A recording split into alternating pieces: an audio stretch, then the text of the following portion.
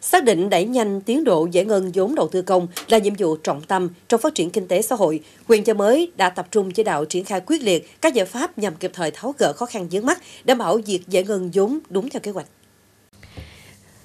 Tổng kế hoạch vốn đầu tư trung hạn giai đoạn 2021-2025 trên địa bàn huyện Chợ Mới là 1.543 tỷ đồng, bố trí cho 80 dự án. Lũy kế đến tháng 4 năm 2023 đã giải ngân vốn đầu tư công hơn 977 tỷ đồng. Riêng tổng vốn được giao năm 2023 trên 482 tỷ đồng. Đến thời điểm này đã khởi công thi công 66 dự án, còn lại 14 dự án tiếp tục triển khai thực hiện theo lộ trình đã đề ra. Thời gian tới, quyền cho mới tiếp tục tập trung giải quyết những khó khăn vướng mắt nhằm tăng tỷ lệ giải ngân vốn đầu tư công, đôn đốc các nhà thầu đẩy nhanh tiến độ thi công các dự án công trình, đảm bảo tiến độ chất lượng theo đúng kế hoạch, thường xuyên kiểm tra giám sát kỹ thuật hiện trường công trình để chủ động xử lý các vướng mắt bất cập, phân công cụ thể lãnh đạo cơ quan, đơn vị trực tiếp phụ trách chỉ đạo việc giải ngân từng dự án, tập trung hoàn thành các thủ tục đầu tư để khởi công các dự án đầu tư công nhân dân.